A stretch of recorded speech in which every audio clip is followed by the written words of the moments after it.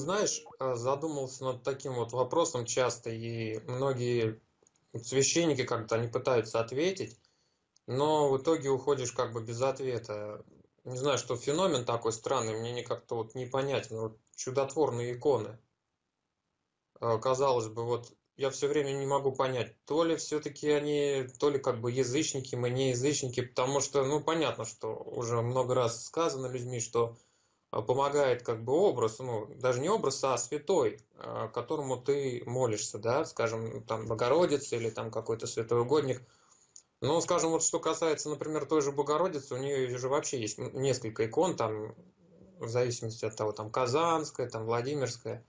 Вот, и там один образ помогает, другой, говорят, вот чудотворный, а другой нет. Как же это получается? То есть, если Богородица, она одна, и она же должна, как бы, неважно какой иконе, главное сила твоей веры, то есть, насколько ты просишь.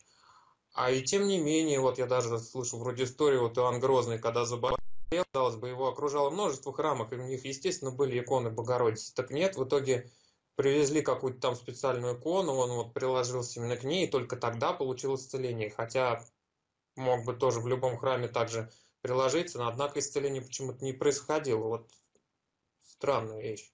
Что ты по этому поводу? Нам просто присуще это по плоти. Вот. Человек, он, ну как, он, в принципе, это создание не плотское, да, даже если и отрицают существование духа, души, все равно человек и к, при, к природе вещественной относится с каким-то, ну вот даже неверующий человек, он а, как-то одушевляет различные предметы, да. Ну вот там медальон какой-то скажешь, ну вот это от мамы, да, он помогает мне. И человек, человеку, естественно, поверить дается. Вот история одна была, там с палкой он шел и напал, что ли, на него медведь какой-то. Он представил, что палка это ружье, ее выстрелил и из палки убил медведя. Понимаешь, как в мире бывает? Ну, это прям совсем фантастика для меня.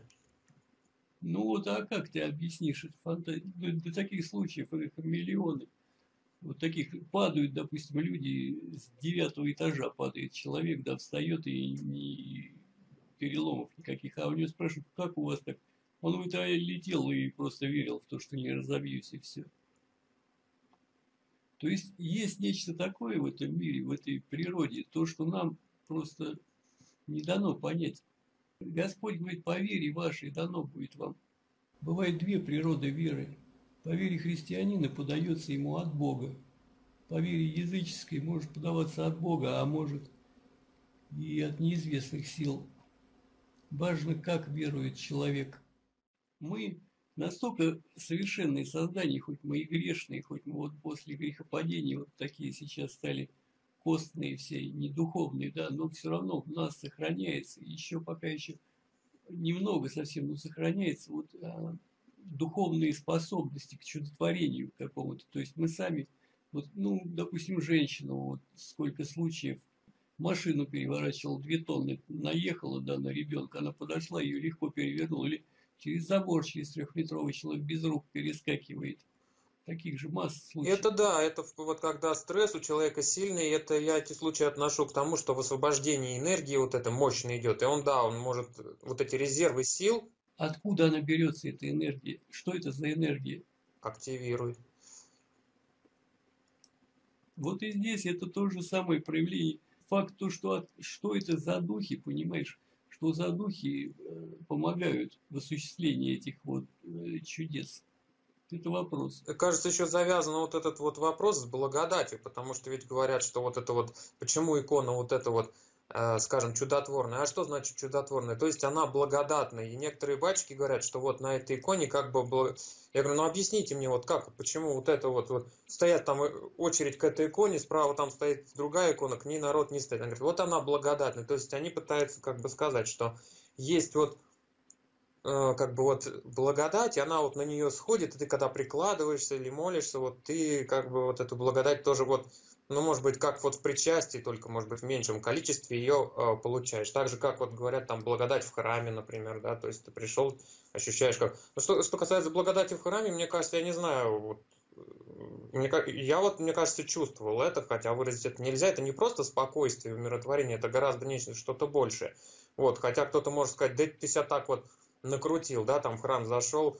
Вот, мне кажется, вряд ли так себя можно накрутить, возвращаясь к тому видео, как вот ты с одним человеком там говорил, да, говорит, ну накрути вот себя действительно, если я там себя накрутил. Вот мне кажется, здесь то же самое. Накрутить нельзя. А Допустим, нам нужно разобраться в понятии благодать. Вот как ты, как ты понимаешь, что такое благодать? Что это такое вообще? Ну, если словами описать. Вот трудно вот это явление словами описать, действительно, что вот это Господь дает, э, как бы. Но ну, одновременно, ну, давай, одновременно какой-то вот этот, э, я не знаю, тихий мир, что ли, спокойствие, то, тоже даже оно распределяться может, если ты болен, может даже что-то исцелиться, если ты там, скажем, телесно ничем не болен, просто получишь какое-то спокойствие, миротворение, может быть, понимание чего-то придет как-то, мне кажется, многогранно, даже вот э, слов не, хват, ну, как бы слов не хватает выразить, мне кажется, на языке. Ну, может быть, еще от недопонимания, потому что действительно вот это слово, вот благодать, чудотворение икон, довольно сложно найти в каких-то книгах или, скажем, в ответах у священников, потому что вот мне кажется, они сами даже не могут толком это сформулировать, потому что это, переж... ну, это переживаемое некое чувство, которое вот люди вот как-то так косноязычно. Я постараюсь а, пояснить что такое благодать? На пустом месте, если есть определение, то значит и должна формулировка какая-то быть, правильно? Что такое благодать? Благодать – это плод Духа Святого. Если есть что-то, то значит есть что-то, от чего оно производится. Написано, что Дух, не знаем, где дышит, и откуда приходит, и куда уходит. Да? Там, где появляется Дух Святой, там благодать. Что такое благодать? Ну, правильно отнеслись сейчас вот к стенам храма, это все внутри храма. Я пришел, там такая благодать, все такое благодать. Благодать, она повсюду разливается, по всей земле. Это есть все Дух Святой. Опять же, вот в моем состоянии лежишь, а ощущается очень часто такая благодать. Вот вчера тут было вечером. Такое сошло просто лежишь и улыбаешься, и все, ну что, Господи, ну откуда такое? Господь приближается и подает. Но концентрация этой благодати различна, очень различна. То есть, вот я когда ухожу из храма, то есть уже совершенно другое. То есть, видать, концентрация резко, вот как температура упала. То есть, ты вышел в город, может быть, там она тоже есть, но она там настолько мала, что лично я ее не чувствую. А она... Нет, дух разливается повсеместно, понимаешь? Дух, Господь с избытком подает Духа Святого. Но вопрос в том, насколько мы готовы его принимать. Меняется не дух, меняемся мы. Понимаешь? То есть, приходя в храм, ты тот же человек, он готовит, э, наше тело называется храмом Духа Святого, да? Или не знаете, написано, что Дух Святой живет в вас. Вот. То есть мы готовим, подготавливаем свой храм, мы очищаем от всяких мыслей там дурных, да, подготавливаемся, строгости соблюдаем такую, и Господь посещает нас. Понимаешь, ну, чтобы находиться постоянно в этом духе, мы должны и в мире, и везде, и в метро, там, и на чердаке мы должны находиться в этом, то есть блюсти себя в чистоте, и тогда Дух Святой не будет покидать человека. Странно, а почему же тогда состояние все-таки меняется? Мы так как-то вот меняемся автоматически. Дух Святой изгоняем и других духов. Кто-то на ногу наступил, вот Дух Святой выходит, потому что его вытесняет дух злобы какой-то. Ну, не, возможно, конечно, я, возможно, возможно. Ну, в общем, вот это вот, конечно, с иконами, вот я так, я, конечно, не могу толком разобрать. Неужели это все только на самовнушении? Потому что если бы это было на самовнушении только, ну, столько людей действительно как-то так же это и с мощами вот это все происходит, когда эти столпотворения, конечно. По большей степени ну, можно сказать, 99% сейчас играют. Ну, конечно, там еще и от веры зависит. То есть, э, каждый человек приходит и кому-то помогает, говорит, а мне вот не помогло. То есть, а кто как верит, тому так в итоге и помогает. Это же не магическая вещь, что приложился и всем все одинаково. Вопрос в чем помогает, понимаешь? Мы просто плоско видим со своей плоской стороны помощь, это значит в исцелении болезни. Для, для болезнь иногда подается для исцеления души, потому что Господь именно для пользы подает ну, эту болезнь. Человек по-своему думает, сейчас я пойду вот против Тут это все плоскости в одной нельзя. Ну или там какие-то материальные там вещи просят люди, там еще что-то там помочь. Если человек там ютится там много лет в какой-нибудь там, скажем, там квартире, там, ну даже не квартире, а бараке, там какое-то там жилье он может там как-то помочь именно Всевышнему просить, чтобы там с жильем там такие вещи. Понимаешь, вот сейчас возьми у мусульман, у этих самых, как их называют, на Тибете, которому поклоняются. Будда? Буддисты, да. у буддистов, ты что думаешь, меньше чудес и исцелений вот от этих различных истуканов и изображений? Мне кажется, да, Сереж, я думаю, меньше. Потому что ведь это, разве, поскольку это все бесовское, ну, я считаю, все эти истуканы и прочее, это язычество, а все, что язычество, это же сатанизм, мы знаем.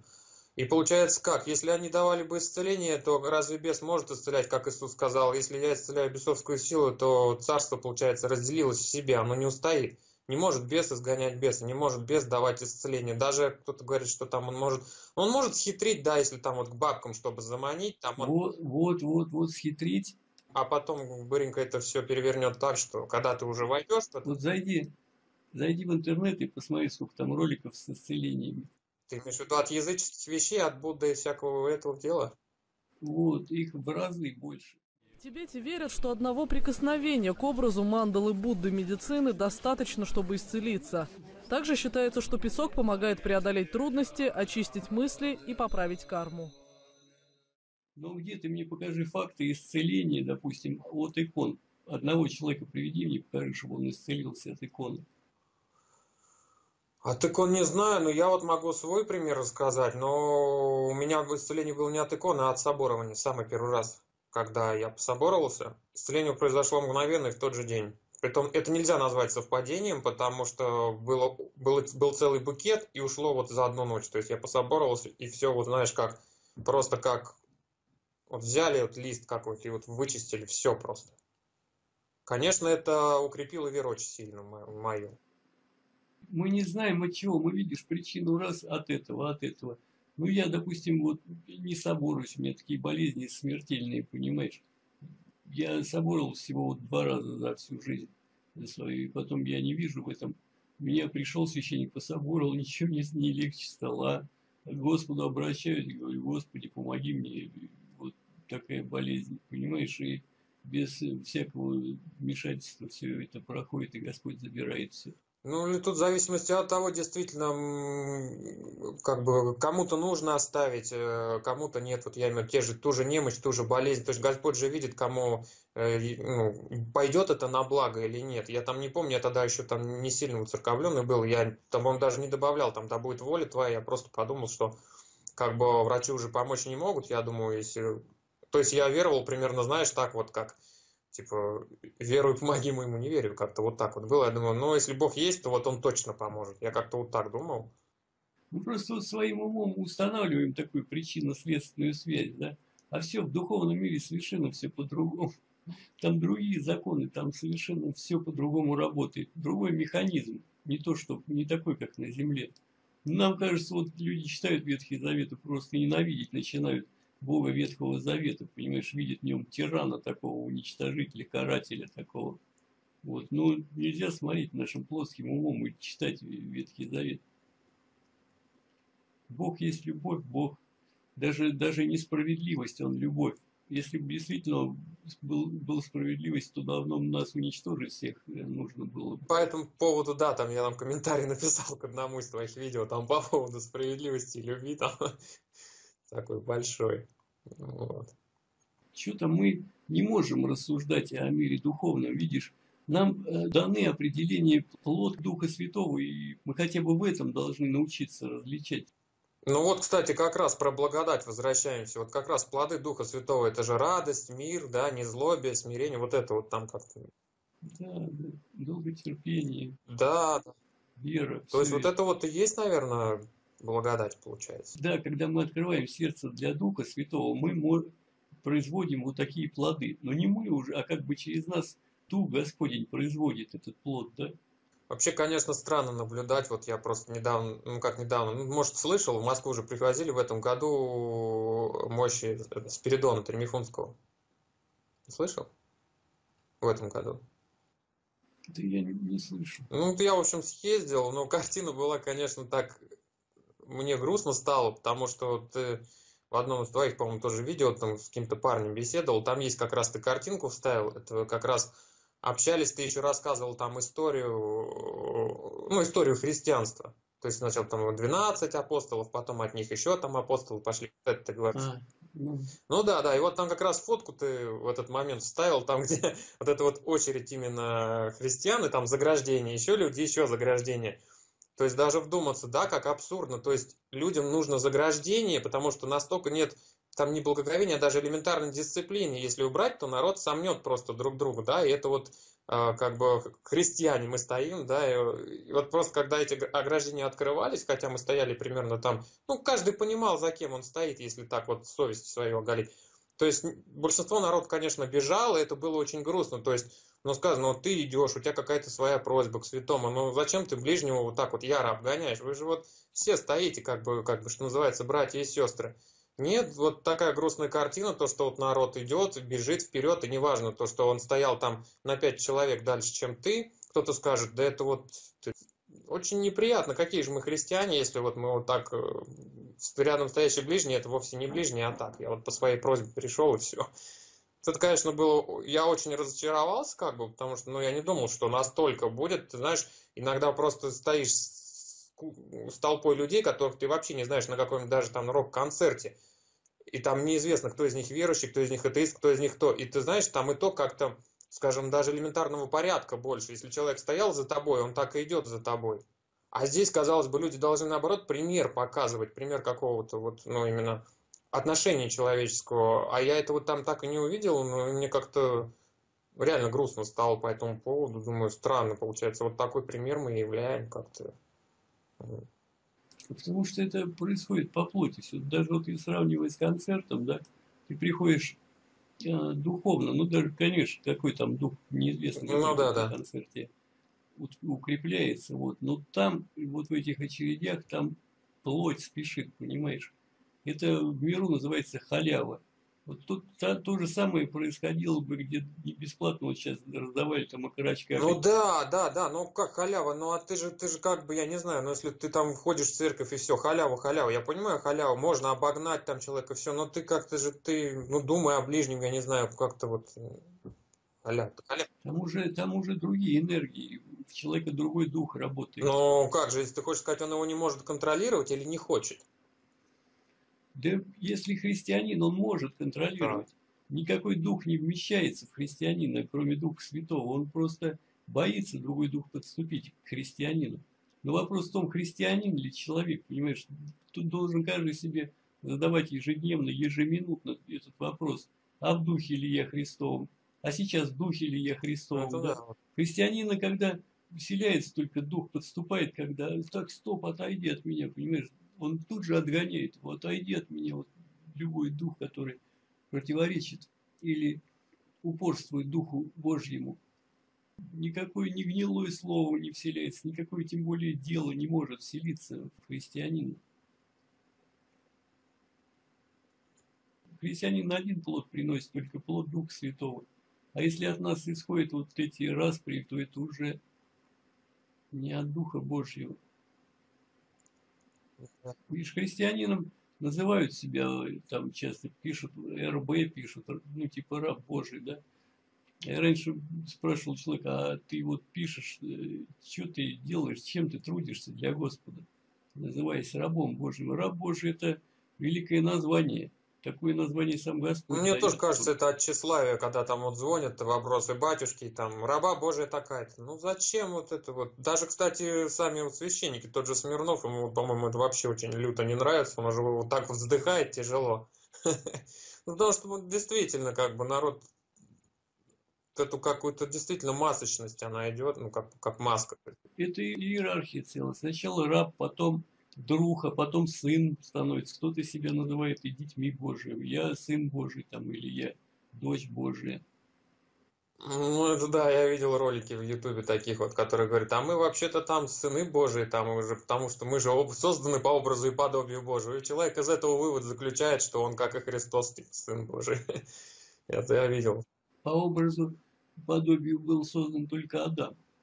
Мы уже по образу греха все рождаемся. Мы рождаемся от родителей, от своих, все пропитанные грехом. Для этого Господь пришел на землю, да. чтобы показать нам путь избавления. Если мы были сейчас по образу Господа, так как, какие бы препятствия нам в рай войти, понимаешь? Не было бы препятствий. А мы даже не понимаем, как туда войти. Мы не понимаем. Для этого Бог сам пришел. Понимаешь, вот три с половиной тысячи лет Он через своих пророков Он пытался донести людям – растолковать, что вам надо измениться, что вам надо, понимаешь, потом он уже, видимо, иссякли слова у Господа для нас, он сам пришел уже, понимаешь. То есть уже сам муравьем сделался, воплотился вот в такое ничтожество, уже показать на личном примере. Ты представляешь, Бог до чего умолился? Ну да. Насколько, насколько любовь его простирается. И то мы сейчас даже этого не понимаем. Ну, потому что, мне кажется, все больше помрачается ум, и действительно вот сердце черствеет. А когда ум помрачен, ты же как слепой котенок, ну как крот, ты ну, не видишь. Тебе кажется, это самое страшное состояние, когда тебе кажется, что ты видишь, но ты не видишь. Вот это вот, это сам, потому что ты помочь себе не можешь, потому что ты же, ты не знаешь, что ты болен. А если ты не знаешь, что ты болен, да, там, духовно, то как ты себе поможешь? Ты же считаешь себя здоровым. Поэтому, конечно, тут... Это правда, да. Вот любой алкоголик, спроси у него, там, он скажет тебе, я не алкоголик, или шизофреник. И шизофреник никогда не признается, что он... Ну, или любая болезнь такая – ну, и умовая болезнь. Ну да, это как бы старая даже фраза, что первый шаг к выздоровлению это признание своего того, что ты болен. То есть уже это огромная уже вещь, то есть понятно, что куда двигаться. Вот, кстати, тоже по поводу, сейчас все тоже говорят на твоем видео, там последние времена, не последние, я что-то так задумался. Мне кажется, это вот э, просто ощущение каждого поколения, потому что я вспомнил, ведь христиане, скажем, второго и третьего века, они уже их степень греха, они же не знали, как люди будут жить через 2000 лет. Им уже казалось, что они настолько черные, и они уже казали, им казалось, что вот сейчас уже Христос придет, что уже последние времена. Нам, соответственно, кажется, что вот почему сейчас уже вот действительно там и интернет, и там почти чипы, и все дела. Потому что, мне кажется, просто мы можем себя сравнить с предыдущими поколениями, которые были почище. А то, что будет за нами, мы не знаем, мы сравнить не можем. Естественно, нам кажется, что вроде вот как у нас уже там мы и католики уже там разреш... официально разрешили, по-моему, уже там э, гомосексуализм и так далее. И мы думаем, ну вот, вот все сейчас уже последнее время. А я вот так думаю, просто нам ведь еще, может быть, будут гораздо больше ужаса там в 2300 или 500 году. Нам просто же сравнить не с чем. Мы сравним сейчас с предыдущими поколениями. Естественно, как и те поколения, мы начинаем как бы так вот э, думать и говорить о том, что, скорее всего, в последнее время. Ну, крестьяне второго века тоже говорили, что все, в последнее время мы уже тут так там такой Содом, грубо говоря. А видишь, вот прошло он сколько, 2000 лет. А это новые сейчас вот ученые, кстати, вот новое поколение ученых, они, ну, как бы, вот эту позицию, о чем ты говоришь сейчас, я даже не знаю, как, к чему, к какому закону привязать это. Вот, ну, потому что я такой, он слабоват в этом. Ну, попытаюсь словами объяснить. Вот, то есть, возьмем 17 18 даже дальше не будем ходить туда, века до, до 20 да. И смотри, вот на протяжении э, каких отрезков времен происходило развитие в технологиях, да. То есть э, человек э, придумал что-то. То есть между изобретениями поначалу были, ну, можно сказать, там десятилетия, да. Вот поначалу были столетия, тысячелетия вообще были. Ну, да. Потом десятилетия. Сейчас пошли уже вот, допустим, сотовый телефон, когда у меня был первый сотовый телефон, тогда, ну, смотрели люди на человека, на такого, они просто... И это всего было всего лишь навсего 15 лет назад, понимаешь? А сегодня это уже сокращается, и это будет, это будет сокращено, и причем чем, Время ускоряется, чем ближе, да. оно ускоряется, да. И вот это вот, о чем ты говоришь, вот это там 500 и 3500 год, понимаешь, он может настать буквально за пятилетку за какую-то. Да, вот ускорение времени это тоже, кстати, действительно такая мысль емкая, я тоже заметил, потому что оно же развивается не, как сказать, не константой, оно как тригонометрически, то есть в квадрате, в квадрате, там, в восьмой степени, то есть да. вот так вот по экспоненте растет. Именно так. Вот, и поэтому, да, в принципе, может уже... То есть то, что, то, что раньше происходило за 10 лет, сейчас происходит за год. Еще задолго до Рэй Курцева с его идеями об экспоненциальном развитии ноосферы и технологической сингулярности мыслители XIX века заметили такое явление, как ускорение истории. Первыми, кто сделал такое наблюдение, были немецкий философ Фридрих Энгельс и американский историк Генри Адамс. Позднее и другие ученые делали такие наблюдения. Ускорение истории заключается в том, что с каждым новым историческим этапом, который короче предыдущий в 3-4 раза, происходит, однако, больше изменений, чем за все предыдущие периоды вместе взятые. Это и есть экспоненциальное развитие. Подобным образом развивается и демография, информация, количество событий, социальные статусы, наука и технологии. Например, в 20 веке всего за 100 лет произошло больше событий, чем за всю предыдущую пятитысячелетнюю историю человечества. Родилось людей также больше, чем за всю прошлую историю человечества. Таким же образом стало больше социальных статусов, промышленного производства, информации, научных открытий и изобретений.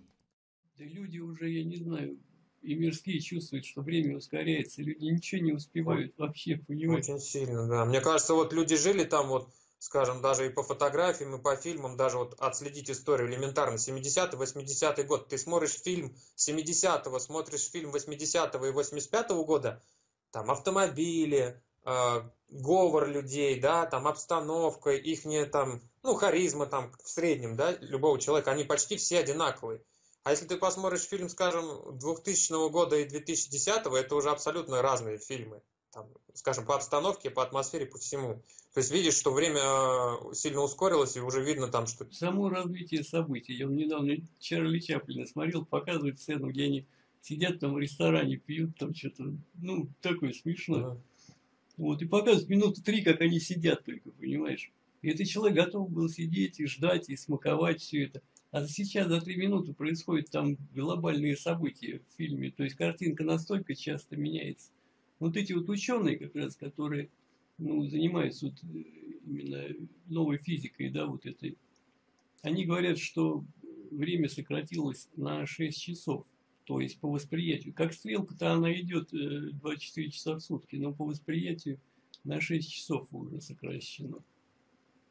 И где-то так оно и есть, да, по ощущениям, все так чувствуют. То есть у нас час э, стал чувствоваться в среднем, скажем, то есть если от 24 6 взять, да, то есть... Ну, минут 40. Четвертая минут 40, часть, да? как 40 минут, да, где-то получается.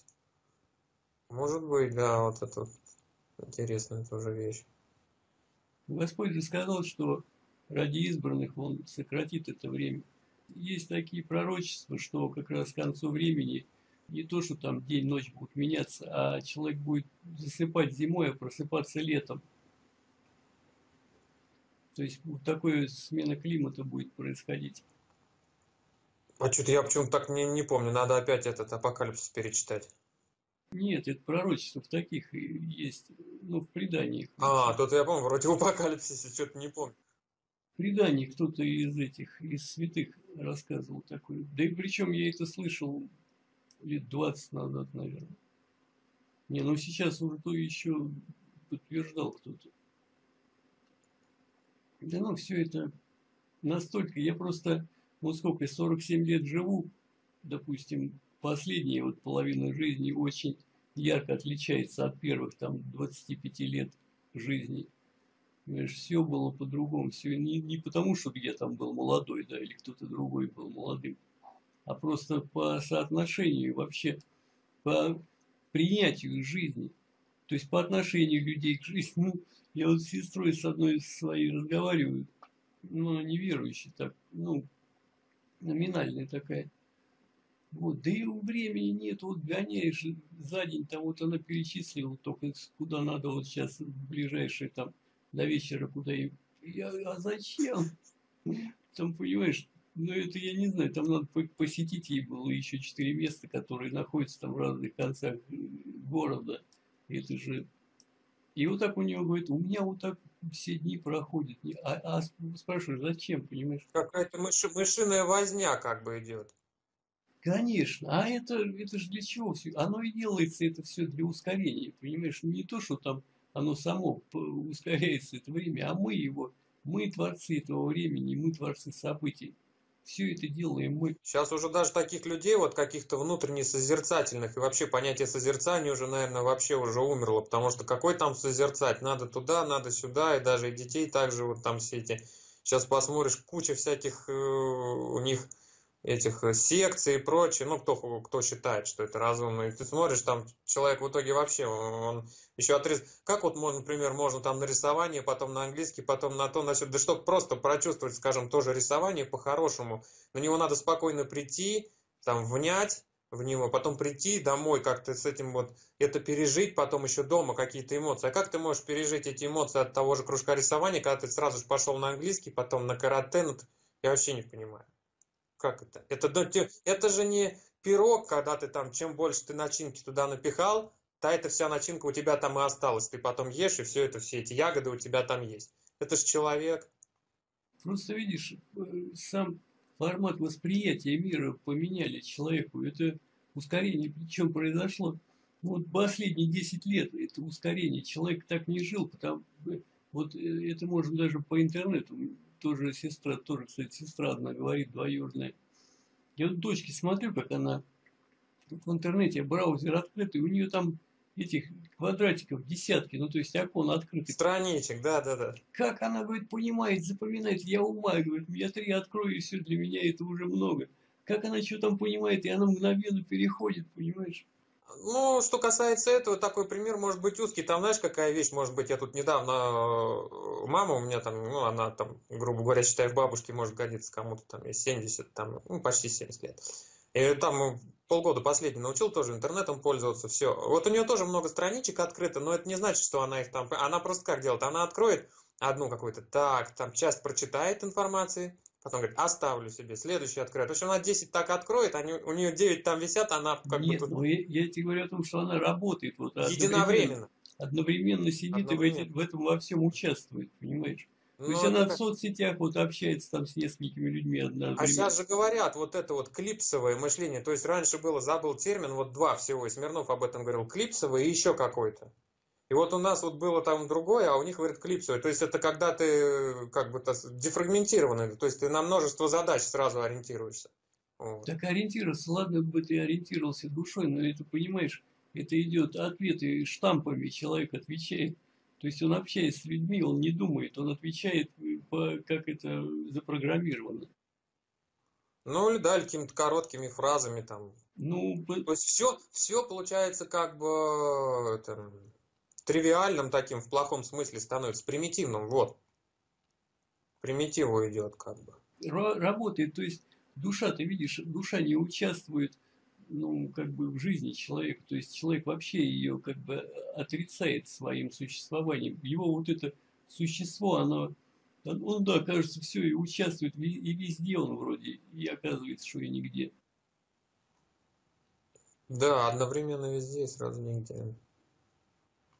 Этого же как раз и, вот смотри, мир, он, допустим, э, сатана, как его называют, обезьяна Бога. Я вот говорю то, что он, он не изобретатель, он, он сам изобрести ничего не может.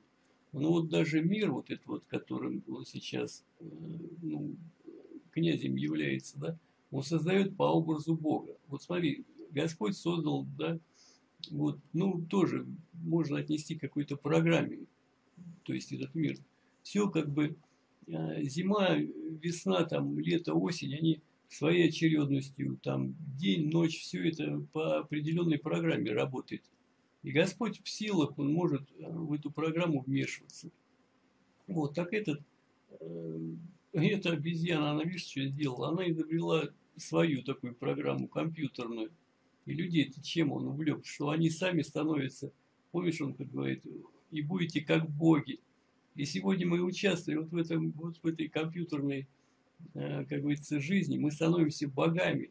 Мы творим с самого детства, с самого вот он только, ему три года, он уже сидит там, рубится, героем себе представляет каким-то. Понимаешь, он творец, он может принцессу там завоевать, убить там дракона.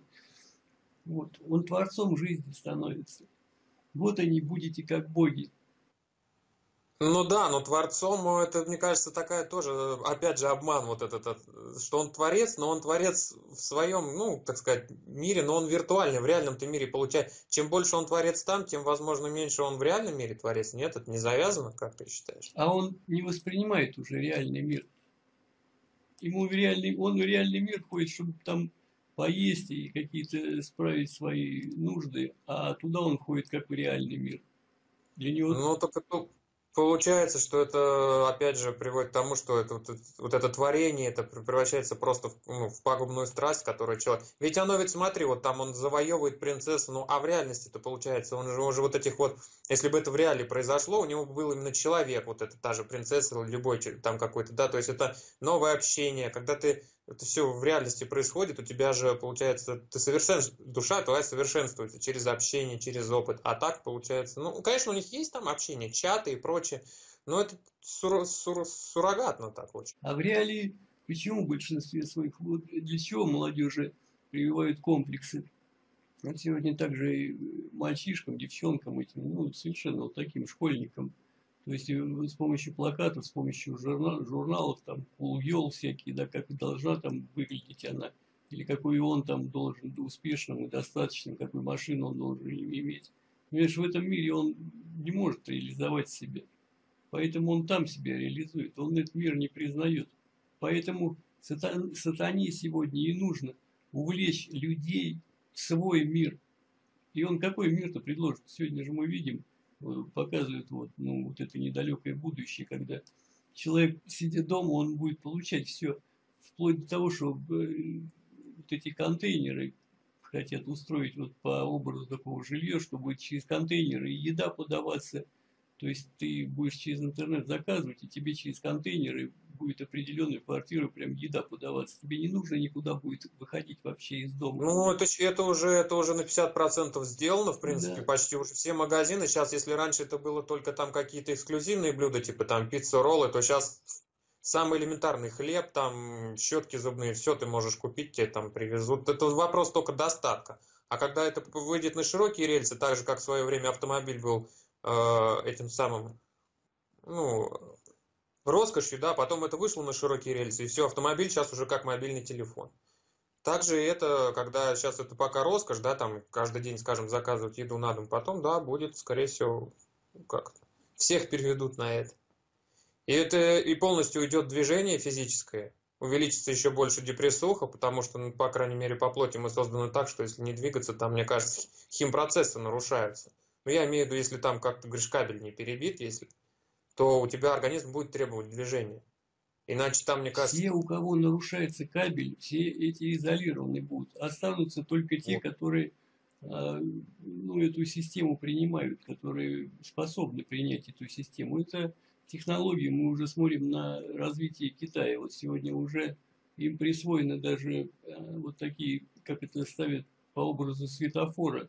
То есть а, как это называется, я забыл, ну то есть способность существования вот именно в современном новом обществе, да. Если человек там, он нетрудоспособен, ему один цвет ставится. Если он успешен, если он кредитоспособен, ему другой цвет ставится. То есть он уже в системе это обозначается определенным цветом. Представьте себе мир, где каждое ваше действие становится объектом оценки. Где ежедневно копится история ваших действий, во сколько вы проснулись, какое вызвали такси, до какого фастфуда доехали. Что, вероятно, у вас гастрит, и это подтверждается вашими недавними покупками в аптеке. А так как вы не искореняете вредную привычку, то вы, вероятно, безответственный гражданин. Поэтому ваш социальный рейтинг снижается. Более того, рейтинг это открытая информация. Она практически написана у вас на лбу. Поэтому друзья начинают удалять вас из списка контактов, потому что вы можете навредить их репутации. Скажите, вам нравится такой мир? Хотя не утруждайте себя. На самом деле, вас никто не спросит. Добро пожаловать в Китай. Чему? Я все это читал вот именно какому образу будет создаваться этот мир, я читал еще сколько? 14 лет назад. Это ж причем была статья просто, я не знаю, это какой-то пророк от Господа просто написал это. А, то есть это, это не научная, да, статья, это как Нет, какая научная, просто человек какой-то написал э, по, ну, поэтапность того, как будет происходить все это. Понимаешь? А ты уверен, что это, ну, как бы а, адекватная мысль, скажем так. Ведь мы же неизвестно, каким духом был Вадим этот человек, когда писал. Так я же по, на протяжении этих 15 лет вижу просто, как все а, это... подтверждение? Поэтапно это произошло и сбылось. Это сбылось, все, все, все его этапы, они реализовались. Я просто не знаю, ну, Интересно. соприкоснулся просто с таким вот, то, что я потом пытался лет 10 спустя найти эту статью еще раз. Ну, я не сохранил ее просто. А, нет, я сохранил ее, но у меня Винчестер тут полетел на старом компьютере. Это, это дьявольские происки, точно. Вот, и сейчас я эту уже статью нигде не, не найду, конечно же. Ну, это удивительно просто. Я только одно подтверждение, знаешь, нашел, но это, это, естественно, никакие не пророки, это вот с научной фантастики давно кто-то книгу приносил, я в институте еще учился. Еще, естественно, не было там ни продукции, ни планшетов, ничего. Мобильники тогда только-только появлялись, вот эти вот с черно-белым экраном и так далее. А он принес книгу старую, то есть сама фантастика вышла где-то 75-го, что ли, года. И там человек писал вот, ну, то, что происходит события, там корабли, все дела там. И вот он написал, что у компьютера у людей такие уже, то есть не, тогда же только-только начиналась развиваться индустрия компьютеров, что вот просто планшет, и ты на него пальцами тыкаешь, никаких кнопок. И лет через 10, когда появились планшеты, я про эту книжку вспомнил. Это, естественно, просто научную фантастику там человек писал, а уж что уж говорить, когда вот если люди действительно знают что-то больше – Интересно было бы, конечно, эту статью почитать. И интересно, до какого года он там это расписывал все. Ну или он там не... Годов там не был, там просто Там просто общие события. Вот видишь, годов их никто Технология. ни дня, ни часа не знает никто, но пророки, они способны саму очередность указать. Вот, то есть поэтапно, поэтапно. И я подтверждаю прям просто на сто процентов. Вот, и следующий этап это, это суета, кутерьма в мире, вот это вот. Ну, как это будет, я не знаю, происходить. Ну, по откровению это война будет, да. Когда просто народ застонет и захочет избрать себе ну, еди, еди, единое правило, единый закон во всем мире. Вот, чтобы уже не было никаких, никакой вражды.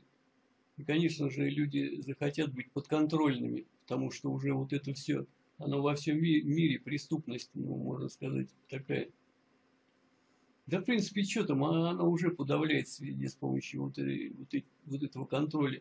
Камеры везде уже поставили особо сейчас. Это не да. своруешь. На, насчет того, что там 2500 лет, я сомневаюсь. Не знаю, насколько это быстро. Не, ну я тоже точных дат не знаю. Это я просто подумал, что я просто как раз читал то ли у святых отцов, то ли где-то, что как раз э, христиане вот уже второго, третьего века, им уже казалось, что куда, куда уже чернее, куда уже хуже.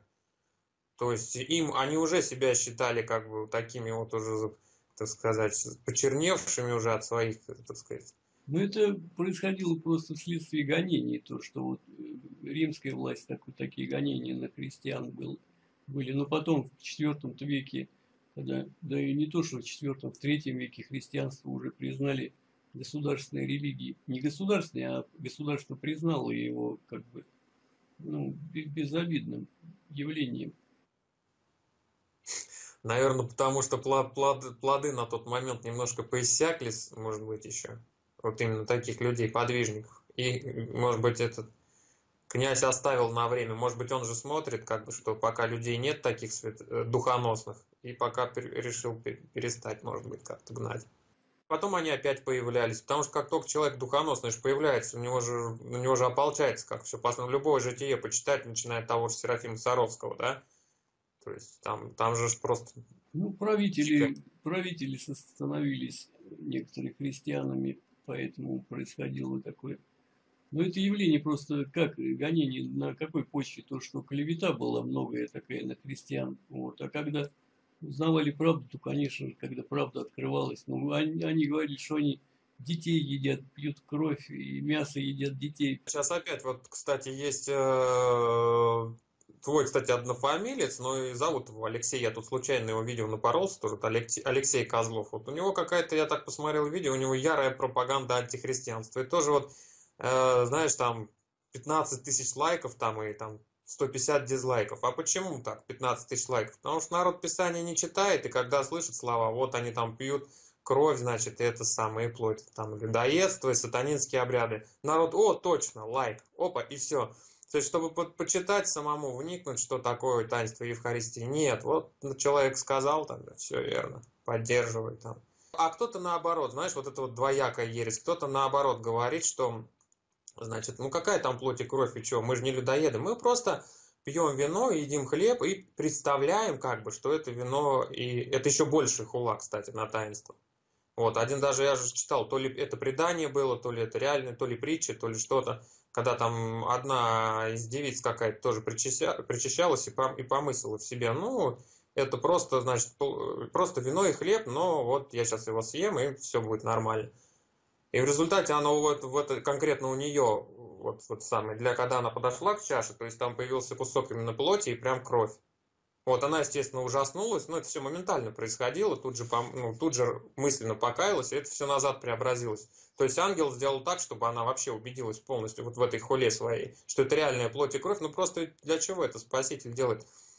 Мы же все-таки действительно никак, не звери какие-то, что нам удобо, удобо так, удобоедимо, что ли, вот действительно, чтобы это было в виде, скажем, вина и хлеба. А невидимо это действительно является, если мы веруем, действительно это как плотью и кровью. Просто, ну, согласись, мало приятно было бы, скажем, в натуральном виде это потреблять.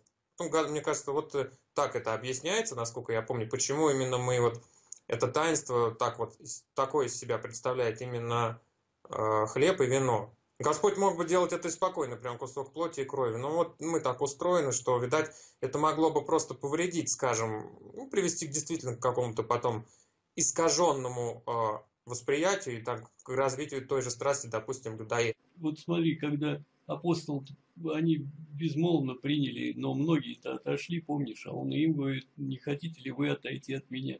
Они приняли... А куда мы пойдем, если, если ты Бог, действительно, это все равно, что у тебя один, один светильник в комнате, а дальше везде темнота, и тебе светильник говорит, не хочешь ли ты отойти? Но ты можешь куда угодно идти, везде тьма, куда ты уйдешь, у тебя один, один источник света, конечно, да. Это... Поэтому вместе с верой удается все это. У меня никогда даже и в мыслях не возникало рассуждать на эту тему, там, чтобы это мясо было. Я тоже, ты знаешь, вот на веру всегда, вот мне сказали, вот я и в Писании написано, да, творите сие воспоминания мои, и все. Ну, написано в Писании, как бы, э, надо веровать, все. все. Но дело в том, что от, откуда эти все дискуссии, вся полемика вот это ведется? Потому что приступают всякие, скажем, противники или просто провокаторы, или люди пытливые. И они хотят разобраться, почему. Они же вот, опять же, всякие провокационные видео, статьи, да, когда говорят, вы вот там людоеды, вы там кровь и так далее. Вот это вот все начинается. И ты начинаешь тоже невольно в это втягиваться и как бы там кому-то что-то объяснять или доказывать, или сам в этом разбираться. То есть ты, ты верил, тебе было спокойно. Потом человек приходит, говорит, ты что ты туда ходишь, допустим. Хотя ко мне так не приходили, ну просто к другим. И начинает вот это вот так вот тебя, как сказать, колебать. Вот у вас там кровь, там у вас там это. Просто последние 30 лет было, называется, лето Господне, благоприятное. Были благоприятная обстановка такая в мире, то есть к принятию христиан. Христи... Не было гонений, понимаешь, но эти гонения, они во все времена были. На Христе их всегда гнали, всегда ненавидели и гнобили. Вот сейчас э, опять э, ступень гонений начинается на христиан. Ничего тут удивительного нет. Все это, это нормально. Это ненормально, когда не гонят, понимаешь. И говорит Господь, и будут гнать, и всячески неправильно злословить за имя мое. Конечно. Нет, это только мне и когда гонят, я для себя понимаю, что это лишний раз доказывает то, что действительно у нас, ну, как, ну, про, вот именно вера вот, ну, в Господа Иисуса Христа, она действительно, ну, как бы истинная, это и так понятно, но когда гонят, это лишний раз доказывает истинность. Если вернуться вот к лекции Мосипа, он, ну, я у него единожды услышал очень правильную мысль, сам как-то, да, вроде оно на поверхности, а сам до этого никогда не додумался. Он говорит, вы ты обратите внимание, говорит, сколько на земле религий, да, там, буддизм, ислам, православие и так далее. И какие жесточайшие гонения были исключительно только на христиан. Только на христиан. То есть, к дьяволу пофигу, там, веришь в Будду, нормально, все, там, гуляй, Вася, там, в ислам тоже, там, еще как и только на христиан, жесточайшее просто убийство, вот именно ненависть, просто вот лютая ненависть к христиан. Почему? Потому что значит, что-то здесь не все так просто.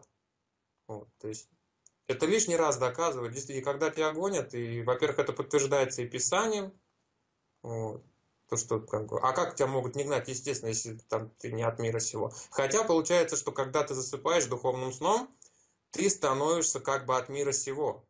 Потому что мир перестает тебя гнать, ты засыпаешь и начинаешь вот это вот все в суете вот в этой как бы ну, порабощаться этому. Я заметил, чем больше ты порабощаешься и спишь, тем э, меньше ты испытываешь каких-то там плохих сторон с этого мира. То есть, ну, он начинает тебя принимать, потому что ты его начинаешь принимать. И, соответственно, душа каменеет. И наоборот, и обратный процесс. Чем больше ты пытаешься из этого болота вылезти, тем мир более агрессивно к тебе начинает относиться. Всякое зло не любит света. Кто любит свет, идет к свету, кто не любит, тот идет против света. Вот и сегодня мир, он не любит, это легко проверить. Христианин, заходя совет нечестивых, какое-нибудь общество развратных людей. Посмотри, как люди начинают сторониться христианина. Они сразу умолкают, они перестают материться, они начинают виновато смотреть на этого из-под человека. Они себя сразу чувствуют виноватыми, понимаешь? Но это часто любой христианин замечал.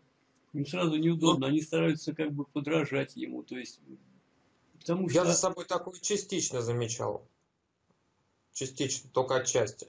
То есть в какие-то дни это было действительно, в какие-то нет. То есть, видимо, это уже зависело от, наверное, то есть, когда ну, да. мое, ну, скажем так сказать, моя, моя, моя вот это вот, э, ну как, не благочестие. А... Насколько ты светил миру. Да, да, то есть когда свет падал, то есть, соответственно, я, я уже, люди уже не реагировали. Вот. Если полным светом светишь, мир, знаешь, как обличается. И, конечно же, они потом начинают, мир начинает ненавидеть его. А это, в первую очередь, из-за зависти. Завидовать начинает, потому что человек вроде как и хотел бы стать таким, понимаешь, что он не может оставить мира того, что он любит в этом мире. Поэтому он все-таки выбирает тьму. Вот. А лучше всего, чтобы этот человек вообще не ходил. Не приходил и не ходил. Не, ну иногда же тоже как, э, вот тоже вот э, приходил, не приходил, тут вот это как бы, если отец не призовет, то не, не можете прийти ко мне. Я так иногда думаю, а что, неужели отец может кого-то так не захотеть призвать? А это даже не от призвания зависит, это уже а, даже на мирском уровне благочестие, простое благочестие, понимаешь? Человек вправе избрать норму поведения, даже мирскую норму, норму мира этого, понимаешь? Вот, а человек не хочет так. Вот я не, не помню, в твоих роликах некоторых, я большинство, конечно, видел, что ты ссылки прислал. вот э, пятница развратница, да, вот сегодня, вот это мне понравилось, я не видел. Ну, Сегодня так действительно в миру говорят, да, пятница. Да, ты знаешь, это при том это уже устарело выражение, я тебе так скажу. Я вот еще на работе первый раз это выражение услышал, сейчас у нас в 2018 на дворе, в 2015, то есть я работал как раз вот на вот в офисе, и там вот э, в офисе это все, все время одно и то же. И народ вот загибается, естественно, ну, тяжело, потому что рутина вот эта вот постоянная. И они прям, что сегодня, пятница развратница? Я думаю, ох, елы пал опять там кто-то там... Ну вот и насколько... Я, я не ходил, но там вот, да, вот это там, пойдем там, это там, кто, кто там... Ну, соответственно, будут люди квасить. Я просто услышал то, что как там человек говорит о том, что а я не хочу пить, а он говорит, да как ты не хочешь пить, сегодня пятница. Ты что, дурак, что ли? Стан стандарты такие, вот насколько они работают. Разве человек может отказаться от этого стандарта? Конечно, ему. И когда свет такой э, придет, евангельский свет обличит его, понимаешь, что ты в ад попадешь за вот эту пятницу. Конечно же, он выберет пятницу, потому что для него это цель жизни, смысл его жизни – это пятница. Ну, потому что э, он, он ищет, он ищет выход, он, понимаешь, его это как плитой давит, он ищет выход и не находит его. Он, он как бы он по, по натуре, как бы в нем еще зерно вот этой жизни не умерло, в нем вот эта искра, пока он еще эту землю, любой человек, пока эту землю топчет, в нем какой-то огонек все-таки горит. Душа пытается куда-то вот поломиться там в этот угол, в этот где-то там. И все суррогат, она не находит. Она это попробовала, не легчает, эту пилюлю, эту пилюлю, все никак. Вот. И пока он этот путь найдет, пока ты... А помочь ему тоже вот со стороны смотришь, думаешь, а как ему сейчас помочь? Пробовать ему говорить о Боге, он, он не поймет, он штыки воспримет. Будет, это тут как, это же надо с размышлением, а то получится бисер перед свиньями. Это где-то где ты действительно можешь так приобрести брата, а где-то можешь и не приобрести, или сестру. Ну, я имею в виду, вот, привести ее, да, там. А можешь и не обратить, это это же надо еще уметь действительно как-то вот с любовью вот так рассказать человеку, чтобы он понял. Это зависит от его подготовки, как он на все это дело смотрит, насколько у него промыты мозги. Очень порой бывает. Вот э, смотришь, думаешь, то ли помогать, то ли, то ли вспомнить, как это в псалме. Блажен муж, это, не ходящий на совет нечестивых и на пути грешных не ста. А то сейчас станешь, так сказать, э, что-то ему говорить а они обратятся и только еще. Бывает, у меня сколько раз так было, пытаешься что-то начать хотя бы потихоньку, и там в результате ссоры, в результате даже и, и я там могу потом что-то, скажем, нагрубить, и потом думаю, ну, а Макс, ну чего ты добился? Ты добился то, что ты там вообще просто там с человеком почти поссорился, то есть вообще мир потерял, ну и что это? иной раз не успеваешь. Лучшая проповедь это ну, личный пример. Вот, а там уже, исходя из того, ты увидишь, э, кто как на тебя смотрит, да? Вот, кто, Поступки, кто да. интерес проявляет, тому можно уже проповедовать. Поэтому пути они, Господни пути, они тоже такие. Не то, что ты, конечно, идешь прямо и в лоб первому встречному. Так не, не Не, ну, работает, конечно. Человеку, каждому человеку свой подход индивидуальный нужен. Да. Это все, конечно, непросто. Когда в Духе Божьем, когда с Господом, Он, Господь всему научит и подскажет. Он подсказывает, когда кому говорить, кому не говорить, о чем говорить. Ну, мне кажется, мы настолько, ну, что все время мы, мы, ну, пора боже про себя. Но вот я, например, мне кажется, я в большинстве случаев настолько от, этих, от этого духа вот далек, потому что то там, то здесь где-то как-то вот действительно держаться заповеди довольно сложно, хотя и пытаешься. И поэтому в большинстве своем ходишь как слепой крот, вряд ли, ну, как мне кажется, может и есть иногда эти подсказки, но крайне редкие. Ну, судя по тому, что происходит, видимо, я без подсказок как бы обитаю. Соответственно, вот... Надо стремиться к тому, чтобы почаще они бывали, эти подсказки. О, а это... Ты же, ты же понимаешь, о чем мы говорим, о каких подсказках? Ведь они же есть, все равно есть. Поэтому так. Их очень мало. Конечно, мало, а поначалу мало, потом больше. А потом вообще на подсказках жить больше. Это, А вот это на самом деле, я просто знаю, и людей много знаю, которые именно так и живут. Своим умом уже не думают. Он говорит, а я, чем мне думать, я не думаю. Что Господь скажет, то и делаю. Ну, это, это, конечно, да, уровень какой-то для меня это непостижимо. Да ну, непостижимо, постижимо. Просто работать, трудиться надо.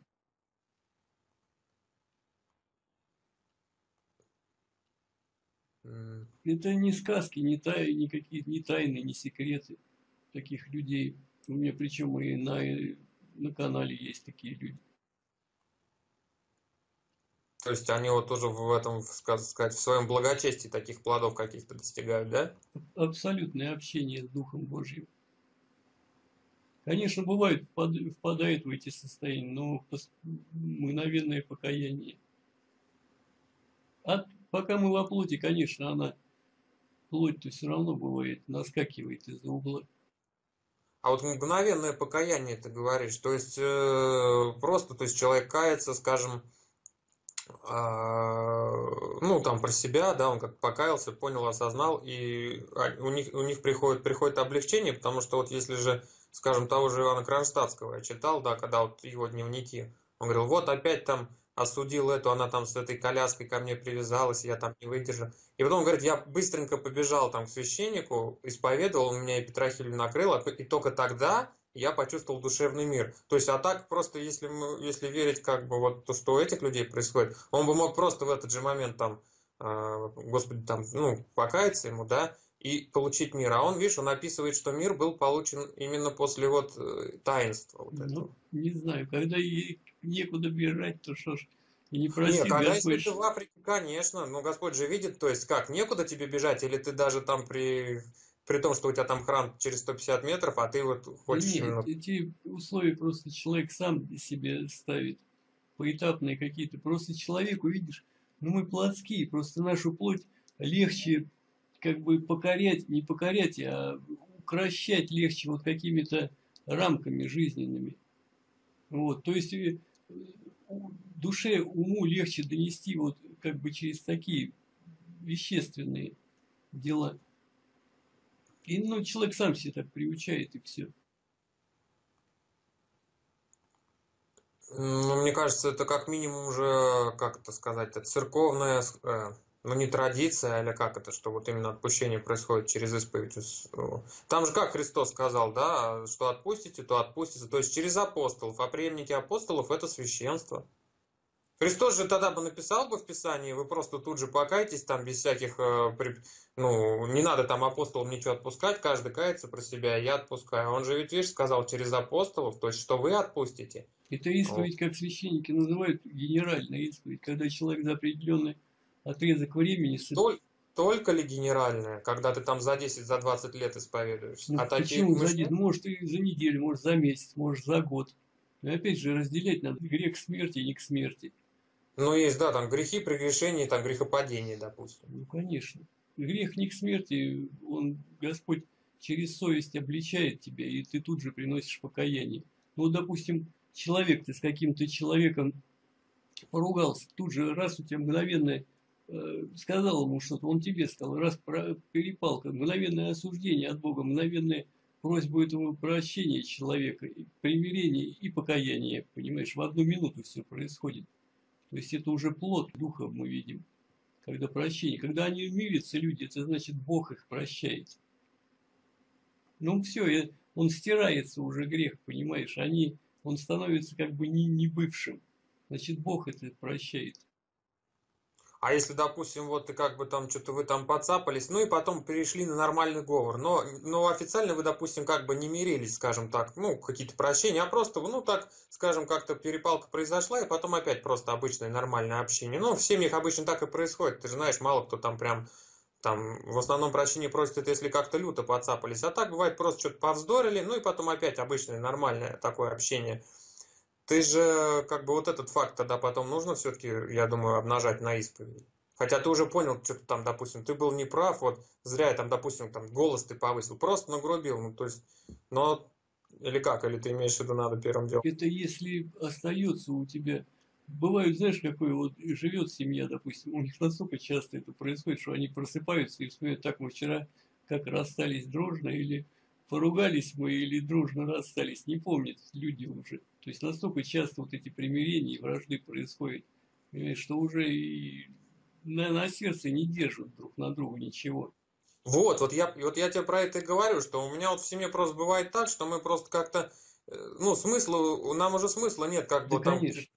прощения, потому что, ну, ну, бывает там кто-то там, я на кого-то повысил, на меня кто-то повысил, да уже я уже там через час забыл как бы я же обид не держу, я же там не говорю, вот ты там повысил, не подходи ко мне. Ну что я же... И так же и мои ближние. Само собой, если там как-то люто подцапались, то мы прибегаем, конечно, там э, прощение. По-хорошему, конечно, лучше, лучше так примиряться с словами, да, в отношениях. Ну, если уже настолько часто, что... Да я не знаю, у меня если вот, допустим, я с мамой живем, да, если происходит что-то такое, у нас это автоматически уже и не просим прощения друг другу, забываем тут же все. И уже, ну, да. уже забываешь, что он прощения просить. Ну вот, вот да, я про то же вот как раз и говорю. Ты, мне кажется, много у кого так. Но с другой стороны, главное, чтобы это не перешло, когда уже ты вот вообще, допустим, человек не просит, да, там по любому поводу. Вот, это уже другая крайность. Но в этом, да. Кстати, вот... Это вопрос семейный, когда не найти правого виноватого, тут трудно разобраться, поэтому человек лучше на тормозах это все спустит, когда не, не нивелирует это. Вот когда действительно кто-то прав, виноват, если сами не разбираются, надо и третьего призывать тогда для выяснения. Потому что вопрос-то в чем? Вопрос в том, что люди зло, в злобе остаются друг на друге. Тут вот главное, чего не было, чтобы на тебя никто и ты ни на кого зла не держал. Это да. А вот ты еще, кстати, говорил, это я как-то задумался про фразу, когда вы, ну, там отрывки из Евангелия обсуждали, я же смотрю, тоже мне какие-то мысли появляются, ты прокомментировал, когда про Иисуса там фраза «Тебе еще нет 50 лет, а ты уже говоришь, что прежде Авраама был». И ты это объяснил, как э, Иисус якобы от изнеможения плоти, то есть он было 30, а выглядел там на 50. Помнишь такое? Я как-то удивился. Мне кажется, просто наоборот. Ну, вот я поделюсь своей точки зрения. То есть он выглядел, можно... Видишь, они же говорят, тебе нет 50, а ты говоришь, что ты прежде Авраама был.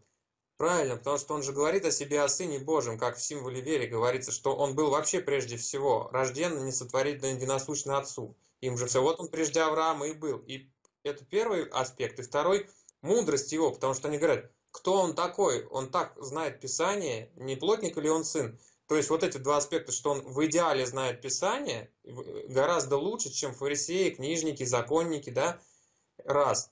И вот он говорит, да, что прежде Авраама был. То есть, мне кажется, это совсем не от изнеможения плоти. неизвестно, какое там изнеможение было, потому что вот тоже второй факт, с тобой тоже говорил некто Александр Дмуха. Вот, он, я его статьи тоже почитал, там кое-какие. И действительно, там, если обратил внимание, Христос же постился только 40 дней, а в остальные дни он как бы с апостолами не постился особо-то. Вот, скажем, телесно. И неизвестно, было ли у него такое сильное изнеможение, именно вот из-за мудрости его вот этой вот очень сильно, как это так? Нет? Вот статьи, вот статьи как раз вот этого Дмухи я бы тебе не советовал читать, потому что очень повреждение умом происходит к Христу. То есть этот человек не православный, понимаешь, у него и мирское отношение к Христу. У нас совершенно другое. Мы знаем Христа как изведывавшего болезни, понимаешь? Человека, не имеющего двух одежд, не знающего, где преклонить головы. Вот. И опять же, конечно, то, что ты говоришь о 50 годах, конечно, это, это нормально, это естественное толкование. Но я здесь говорю о том, что а, представляю уже Господа как человека, насколько в своих трудах, вот в этих, ты понимаешь, он, он на месте не сидел, э, ну, был плотником. Ну, кто такой плотник? Он, можно сказать, постоянно в труде находится, в работе, да, человек такой. Вот. Но у нас плотники есть, которые в работе находятся, но они не выглядят изнеможденными. Не, послушай, ну, обычно... я имею в виду то, что человек в труде постоянно находился. И я это подчеркнул именно для того, чтобы, ну, можно сказать, любовь свою оказать Господу, насколько, насколько в православии мы должны подражать Господу, не щадя себя. Понимаешь, мне, ну, мне так открылся. Аспекте, вот он да. такой изнеможденный в одеждах таких подошел в рваном хитоне в каком-нибудь, растрепанные волосы, понимаешь? Но я говорю, это ты его больше, мне кажется, да так, э, скажем, ему такую милость, жалость человеческую оказал, но не факт, что вот он в рваном хитоне. Э, при распятии уже да, каким он ходил, даже если ему не было главу... Ну, рваным я имею в виду, ну, шитом каком-нибудь, ши, шитой одежде. Ну, и недорогой, и не настолько, чтобы как фарисей выглядел бы он, правильно?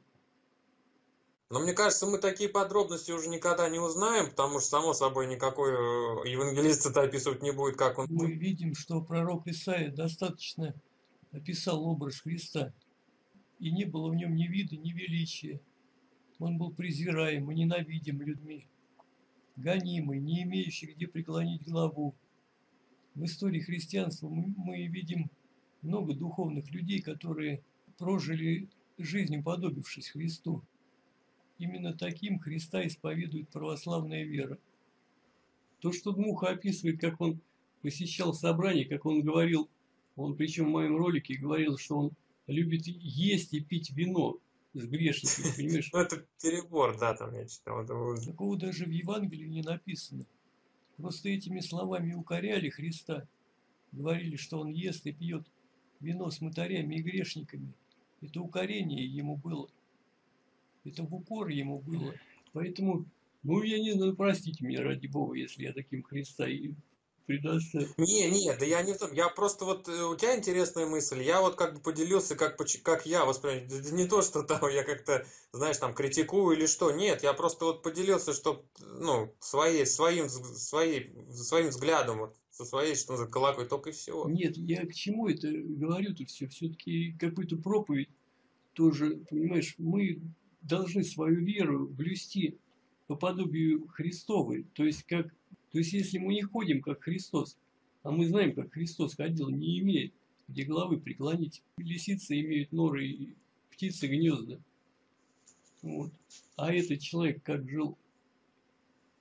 Поэтому веру вот эту православную, понимаешь, идет развитие в харизматию сейчас превращают. Я вот выставил с этим Павлом Островским – это же все идет, он же учится откуда? От харизмата, вот так развлекать народ.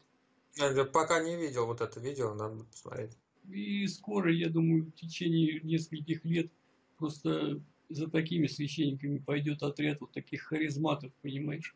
И вся вера христианская, она скоро превратится в харизматизм. Погоди, это не вот не последнее видео, нет? Ну вот, Ты выложил. где я выложил Пос- смеющегося священника. вот Да, да, вот это с э, 16 числа, что ли, да, это я...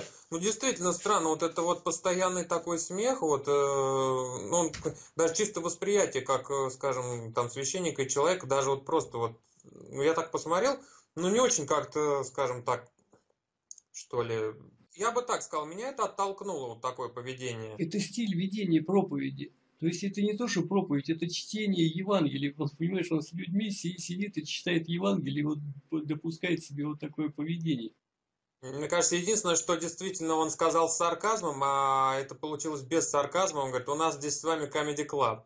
И вот это, мне Ты кажется, послушай, вот на весь его смех, он, я могу ссылку дать этого ролика, он смеется, понимаешь, народ сидит, молчит, редкий из людей кто-то там ха-ха посмеивается.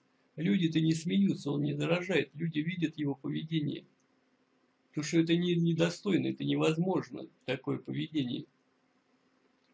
То, что вера наша трансформируется, христианская, она по подобию харизматии скоро будет вся вера вот так устроена. Потому что священники сейчас пойдут вот в связи с тем, что умоляются, вот этот вот народ весь в храмах, люди уходят из православных церквей, они сейчас пойдут вот на эту, на поведение харизматов, то есть привлечение вот таким именно увеселительным. Понимаешь, ну, показывают же и танцуют уже, и стихи читают. честно говоря, не осведомлен вот, ну, с такими событиями, может быть, это я Да могу. ну, я все на канале на своем выставляю, там давно уже есть у меня старые ролики, там, где я все это ставлю.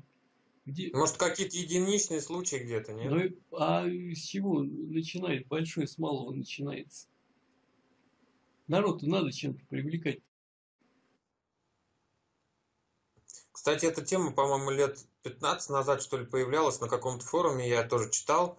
И вот там тоже люди начали развивать тему, ну, собеседники, скажем так, а, о том вот действительно о, природе смеха, о природе вообще вот этой вот эмоции смех, э, скажем, улыбка и прочее. И вот Христа тоже затронули, кто-то написал то, что, я не знаю почему, может, он так, видимо, считает, так же вот, как ты по поводу Христа, что ему вот еще там 50 нет, а он вот так изнеможден был. Кто-то написал, что Христос э, никогда не смеялся, он только улыбался. То есть, когда... А вот чтобы у него какой-то хохот именно был, такого вот нигде не замечено. Но, честно говоря, в Писаниях вообще, по-моему, не замечено его, скажем, эмоции. Там описано только, что он вот удивлялся. Там два раза он удивился. Первый раз сотнику, да, и второе то, что израильтяне такое сильное неверие, там, и не сотворил многих чудес по неверию их и удивился. Вот, вот отошел с удивлением, как вот. И второй раз сотнику он удивился, да, когда сотник сказал, что вот, Бог слово скажи и выздоровеет раб мой. Вот, Иисус тоже В Евангелии два раза, где а, Господь прослезился. Один раз написано прослезился, а другой раз заплакал. Это когда первый раз про когда Лазарь воскрес, а второй раз, когда ну, город сей падет, когда он на Иерусалим и прослезился. Нет ни одного места, где Господь бы порадовался. Да. То есть даже там ни улыбки, там ни смеха, ничего я такого как-то тоже не находил. Поэтому мы должны придерживаться вот именно православия. В чем оно православие? Это наше и сильно. Вот именно по образу Господь говорит, возьми крест свой и следуй за мной. Что значит следуй за мной? То есть подражай вере мне. Не любите мира, не того, что. Не любовь к миру, она и предполагает вот это жизнь-то такую, ну, можно сказать, в аскезе, который двух как раз и отвергает аскезу. Он полностью отвергает аскезу.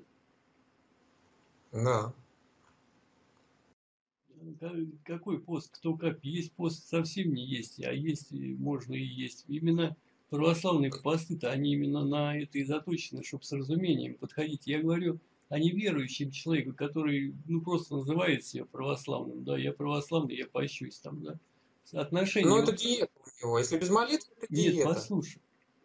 Я же говорю, человеку можно просто принять, он разумно просто составленный, они, они настолько, да, даже без молитвы он не умрет от голода, потому что там составлена очень разумно она, вот эта диета сама по себе.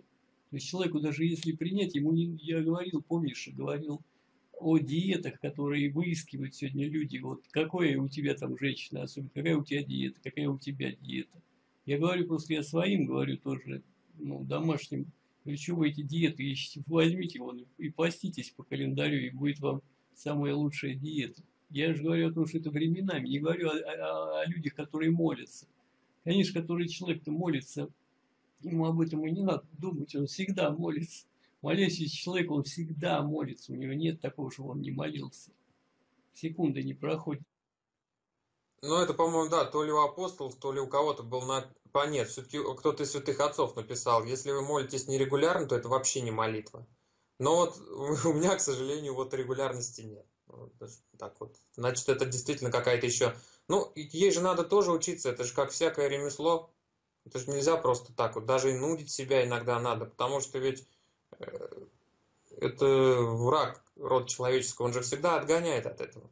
Даже вот и со Смирновым я согласен настолько люто, он не любит это действие, вот эту молитву, потому что он иногда даже благими помыслами тебе говорит, там вот, Евангелие иди почитай, хорош молиться.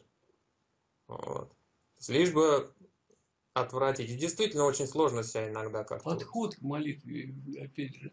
Если ты вычитывание берешь, что это одно, а если у тебя отношения с Богом, разговор с Богом, то это совершенно другое. Вот я и говорю именно о разговоре с Богом. Ну, у меня пока такой стадии нет, у меня скорее какой-то комбинированный. То есть, и, скажем, и по слову, и там что-то своими словами, вот так.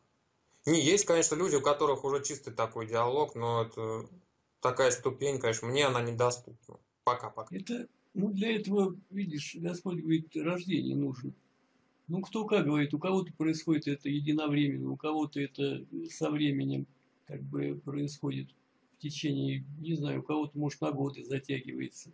Это не то, что разговор с Богом, вот понимаешь, любящие люди, ты же наверняка это знаешь, что они когда просто друг рядом с другом находятся, им этого достаточно, и это и есть их общение уже, понимаешь? А она вот ему или он ей, как мне не хватает тебя, а вот что не хватает, да, да просто вот твоего присутствия не хватает. Это и есть духовное общение. Вот так и у христианина с Господом, понимаешь, он даже никогда не, не, не говорит, даже если с ним он уже, он чего, он рядышком, все, я рядом с Господом, сижу рядом с ним всего этого достаточно. А когда что-то возникает, тут же Захитонова, господи, что там, как там, понимаешь? Ну, это уже вот, да.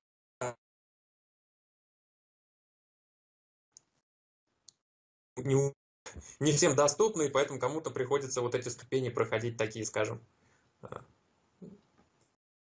вот, по молитву слова и так далее. Не всем оно может, оно как-то действительно нужно. подготавливает почву хотя бы. Усердствовать нужно в этом. Потому что если мы такими будем нерадивыми, то можем и опоздать. Можно ведь, кстати, наверное, и так и не родиться свыше, так сказать, до смерти, да, и просто вот, ну, потом тогда, наверное, там. Ну, а что, бывают, конечно, эмбрионы и засохшие бывают, и такие вот уже завонявшие бывают, выходят эмбрионы, всякие. Не, я имею в виду человек сам, вот, ну, если вот он жил, жил, но не получилось у него там свыше родить, но он пытался. Ну, вот я, я тебе и говорю. Ну, а вот не родился он. Я и говорю о духовном рождении. Духовном рождении то же самое происходит. То есть там какое-то преображение будет, не будет, это непонятно тоже. Как. Ну, по делам. Ну что, Максим, давай тогда поговорили. Ну да, спасибо, да, Сереж. Ну, если что, там можно звонить тогда, да, созваниваться.